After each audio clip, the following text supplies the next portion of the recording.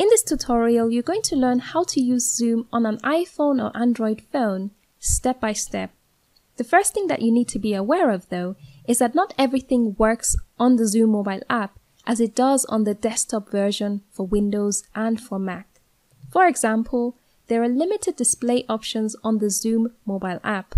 You can only have four faces on the same screen at a time, whereas on your desktop you can have up to 25 participants on a single screen.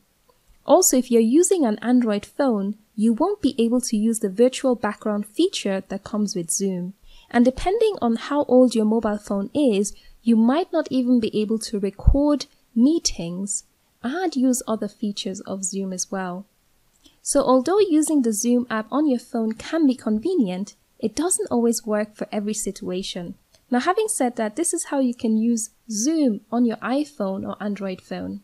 So step number one, look for Zoom Cloud Meetings in your Play Store or App Store. Then install the app and press open. And you will be redirected to this page here where you have the opportunity to join a meeting. You don't have to create a Zoom account to join a meeting. So you can join a meeting by installing the app onto your phone and then once you open the app, you can join a meeting like this. So if you press on join a meeting, you need the meeting ID in order to join the meeting. And the host of that meeting will send you the meeting ID and also a password if that is required. Also, when you are joining a meeting, you have two options here. You can select the first option if you want to mute yourself when you're entering the meeting. And you can select the second option if you want your video turned off when you're entering the meeting. Obviously, you can turn on both options once you are in the meeting. And then you click on join meeting to join the meeting. So it's that simple really. Step number two, if you want to host a meeting, you can sign up. And that is if you haven't already created an account or you can sign in if you already have created an account with zoom.us. So I'm going to sign in because I already signed up on the website. You can also sign in with your Google account or Facebook account for easy and fast signing in. If you're using an iPhone, you can give Zoom access to your phone's calendar and to send you notifications. I'm using an Android here, so I don't have this option. And now this is the home page of the app. So you can see on the top menu area is where all of the magic happens. So you can start a new meeting here. You can join an existing meeting, and this is what we've just covered. You can also schedule a meeting or share your screen. This is one place where you can share your screen, However, when you're hosting a meeting, you also have the possibility to share your screen there. So let's start with the first option to start a new meeting. So I'm going to click on new meeting. I want to host this meeting with video on. It also asks if I want to use my personal meeting ID. So your personal meeting room is ideal for use with people that you meet with regularly. So your personal meeting ID and personal link is what you will give people to join your personal meeting room. However, I don't recommend that you use it for back-to-back meetings or for people that you do not meet with regularly. Once a participant has the link to your personal meeting ID, they can join it at any time the meeting is in use. Then we're going to click on Start a Meeting. If you're enjoying this video so far, please like it so that it can be shared with more people and help out with the YouTube algorithm. Thank you. I'm going to give Zoom access to my microphone, camera and storage and allow the Zoom app to record the meetings. You can also enable the record feature when you're scheduling a meeting. The first thing that is really important when you're hosting a meeting is your meeting ID and password at the top. You will need to send this to your participants if you want them to join your meeting. Do you remember at the start where we had to put our meeting ID to join a meeting? This is where you as the host or organizer of the meeting can find that information. So right there at the top. So I'll show you now how to invite participants and how you can send them the link to join your meeting and of course add your meeting ID and password to the invitation. If you want to invite participants to join your meeting, you need to click on participants at the bottom here. So it is showing me that I'm the host of this meeting right here at the top and at the bottom I can invite participants by clicking on invite. And there are many options here as you can see. For example, I can invite people from my contact list.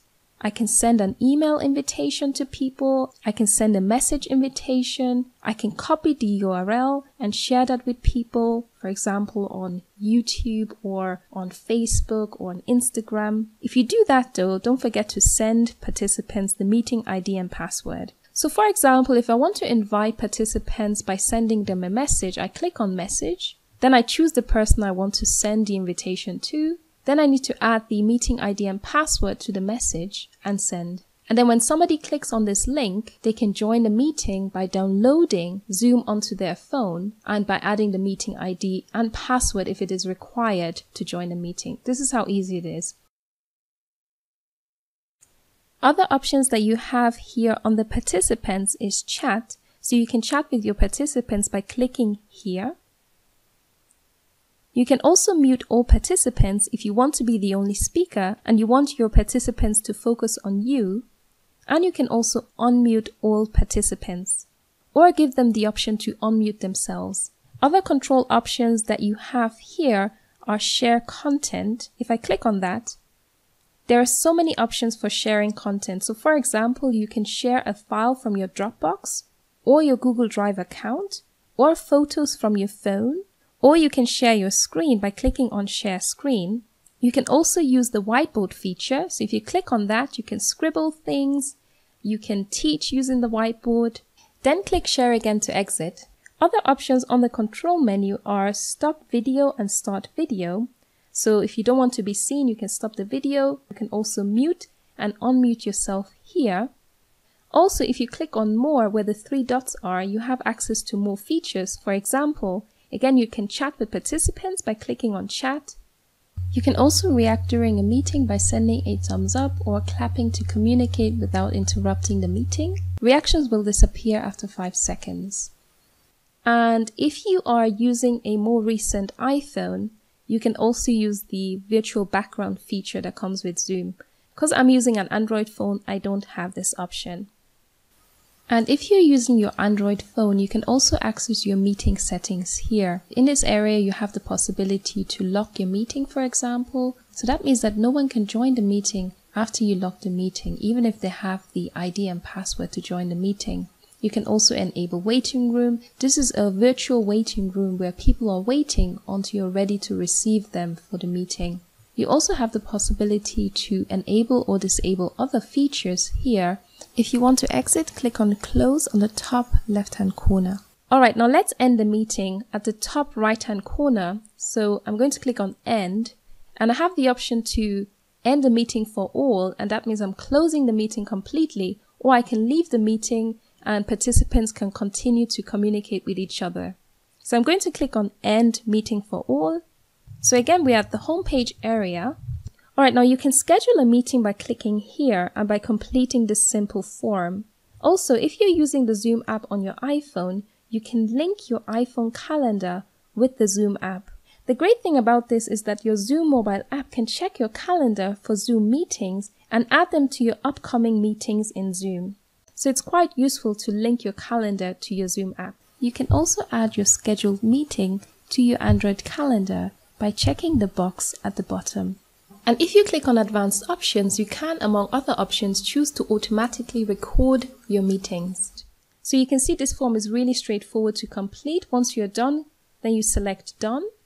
And then again at the top right hand corner, you have the share screen option. And there again, you want to share your key or meeting ID from a Zoom room that is already in existence. So you can't do this yet if you haven't set up one or someone didn't invite you to one. Also, you can add contacts here right in the center by clicking on the link. Especially if you're going to be using Zoom frequently, then you can add your contacts here and you can also chat with participants here as well. At the very bottom, you can easily access your personal meeting ID, and I spoke about that earlier. So if you're hosting meetings with somebody regularly, then this is where you can just send them the invitation. So it's really convenient and fast that way. And finally, under settings, you can change settings for all of these options. For example, under meeting settings, you can see auto connect audio is off. And this is useful so that people don't accidentally listen to something that you're not ready to share. There are many other features that you can also modify, for example, safe driving mode or reaction skin tone and so much more. Alright, so this pretty much covers Zoom on the phone. If you want to see a detailed step-by-step -step tutorial about how to use Zoom on your computer, I will link that tutorial here now and in the description box. Thank you guys for watching. If you found this video useful, please give it a big thumbs up and comment below if you have any more questions or comments. Bye bye.